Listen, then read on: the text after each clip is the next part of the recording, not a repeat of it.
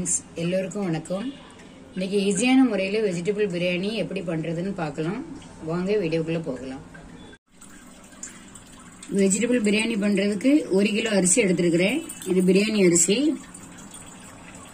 Medium size வெங்காயம் மூணு cut பண்ணி வச்சுருக்கேன். மீடியம் சைஸ் தக்காளி மூணு கட் பண்ணி வச்சிருக்குது. கேரட் வந்து இந்த அளவுக்கு நம்ம எடுக்கணும். எல்லாமே ஒரு இரநூறு இரநூறு கிராம் எடுத்திருக்கேன். கேரட் இது பீன்ஸு வட்டனை பிரியாணி பண்றதுக்கு மசாலா ஒரு பத்திரி ஃபூல் எடுத்திருக்குது நாலு பட்டை மூணு ப- பிரியாணி இலை நாலு ஏலக்காய் நாலு கிராம்பு. இது இஞ்சி பூண்டு பேஸ்ட்டுக்கு இந்த அளவுக்கு நீங்க எடுத்துக்கிடுங்க. இப்ப நம்ம ரைஸ் வேக வைக்கிறதுக்கு இந்த மாதிரி ஒரு பெரிய பாத்திரம் எடுத்திருக்கிறேன். தண்ணி இப்போ கொதிக்க விடணும் இது.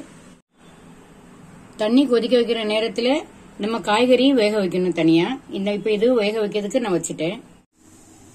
தண்ணி கொதிக்கிறதுக்குள்ள அரிசியை நல்லா அலம்பி வச்சுக்கிடுங்க.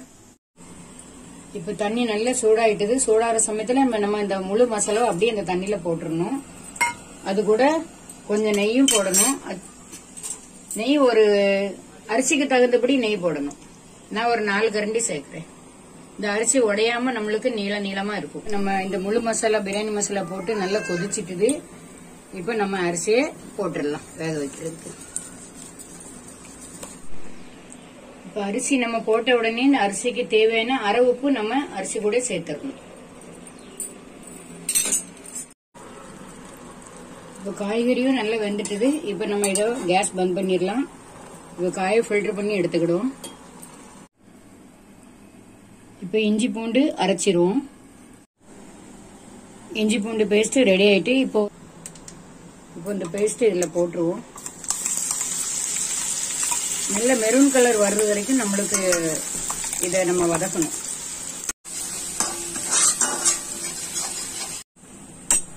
இந்த மாதிரி பிரவுன் கலர்ல வந்த உடனே வெங்காயத்தை சேர்க்கணும்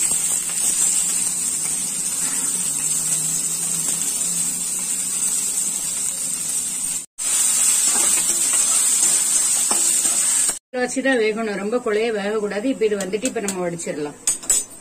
வெங்காயம் பாதி வதங்கினதும் நம்ம கட் பண்ணி வச்சிருக்க தக்காளியை அரைச்சி இதுல சேர்த்துடலாம். கொஞ்சமா தண்ணி விட்டு அலசி ஊத்தலாம்.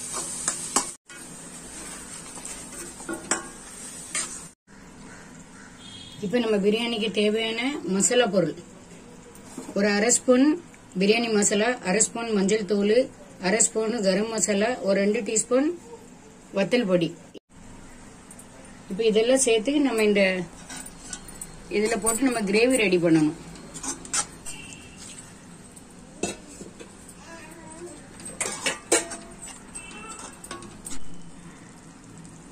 இது நல்ல மசாலா போட்டு நல்லா கொதி வந்த உடனே நம்ம வேக வச்சிருக்க காயை போட்டுருவோம்.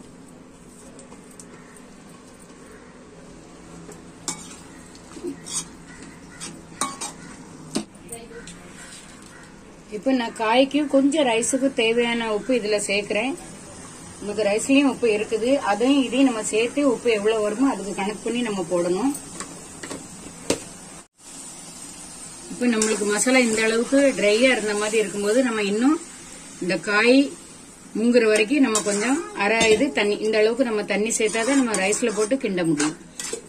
இப்போ இது நல்ல ஒரு கொதி வரட்டும்.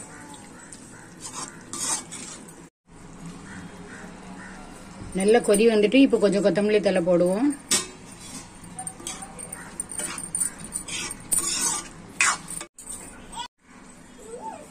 இப்போ நம்ம வடிச்ச ரைஸை எடுத்துருவோம்.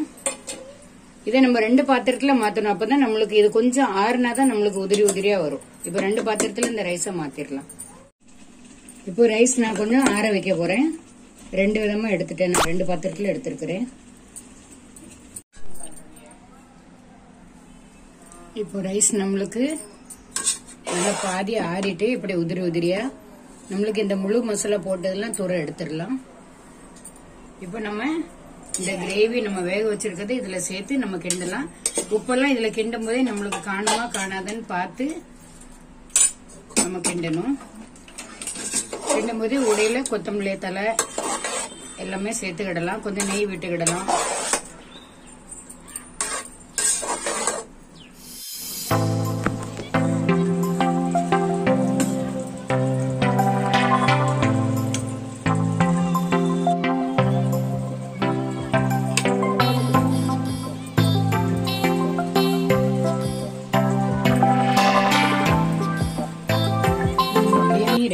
ரெடி இது காய்கறி அரிசி தனித்தனியா வேக வச்சு ரெண்டாவது திருப்பி இது ஒன்னா சேர்க்கறது. பாக்குறதுக்கு கஷ்டமா தெரியுற மாதிரி தெரியும்.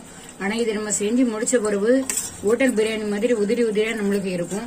அதே சமயத்துல அந்த காய்கறியோட ப்ரோசஸ் நம்ம கிரேவி மாதிரி ரெடி பண்ணி வச்சது ஸ்டாக் பண்ணி ஃப்ரிட்ஜில் வச்சிருந்தா நம்மளுக்கு மீதமான சாதம் எது இருந்தாலும் அதுலயும் போட்டு நம்ம கிண்டி சாப்பிடலாம். ஒரு வெரைட்டியான ரைஸ் நம்மளுக்கு கிடைக்கும்.